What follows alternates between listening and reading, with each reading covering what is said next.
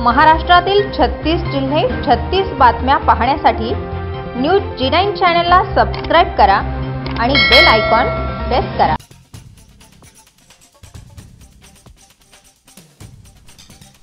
दिंडोरी तालुक्यातील लखमापूर गावात सन दोन हजार पाच ते आज पावेतो गावातील दारू कायमस्वरूपी बंद होण्याबाबत ग्रामसभा विशेष ग्रामसभा महिला ग्रामसभामध्ये अनेक वेळा दारूबंदीचे ठराव झाले आहेत.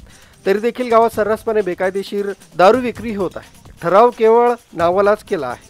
एवढे दारूबंदीचे ठराव गावात झाले असून देखील आश्चर्याची बाब म्हणजे ग्रामपंचायतीचे ग्रामविकास अधिकारी संजय पाटील व ग्रामपंचायतीचे पदाधिकारी यांच्याकडून लखमापूर गावात देशी लिकर दारूचं दुकान होणे कामी.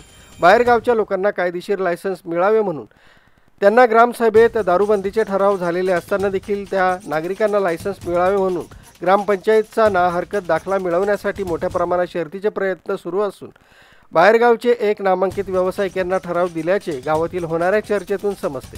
ग्रामपंचायतमधील ग्रामविकास अधिकारी संजय पाटील व ग्रामपंचायत पॅनलवर असलेल्या सर्व सरपंच उपसरपंच यांच्या मनमानी कारभाराला आळा घालण्याबाबत बी एम ए ग्रुपचे दिंडोरी अध्यक्ष प्रेम गांगुर्डे यांनी थेट जिल्हाधिकारी डी गंगाधरन यांच्याकडे लेखी तक्रार केली आहे. त्या तक्रारीत नमूद असं की गावात दारूबंदी असूनही गावात विक्री सुरू असलेल्या नागरिकांवर कारवाई न करता त्यांना दारू विक्रीसाठी प्रतिबंध न करता उलट ग्रामविकास अधिकारी यांनी नवीन दारू दुकान सुरू होण्याबाबत चक्क ग्रामसभेचा ठराव दिला आहे. तेही महिला ग्रामसभेला अंधारात ठेवून. नांगुर्डे लखमापूर. आज लखमापूर गावामध्ये दिंडोरी तालुक्यातील लखमापूर गाव या ठिकाणी दोन हजार पाचपासून तर आत्तापर्यंत पूर्ण लखमापूर गावामध्ये दारूबंदीचे ठराव झाले. दारू बंद केली.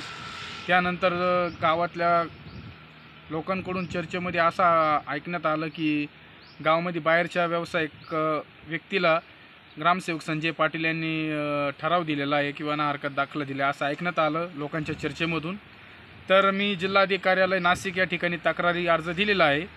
तर संबंधित लखमापूर ग्रामपंचायतीमधील जो ठराव गेलेला आहे समोरच्या व्यावसायिक माणसाला तो ठराव लवकरात लवकर रद्द करण्यात यावा आणि गावात कुठल्याही प्रकारे देशी दारूचं दुकान नाही झालं पाहिजे.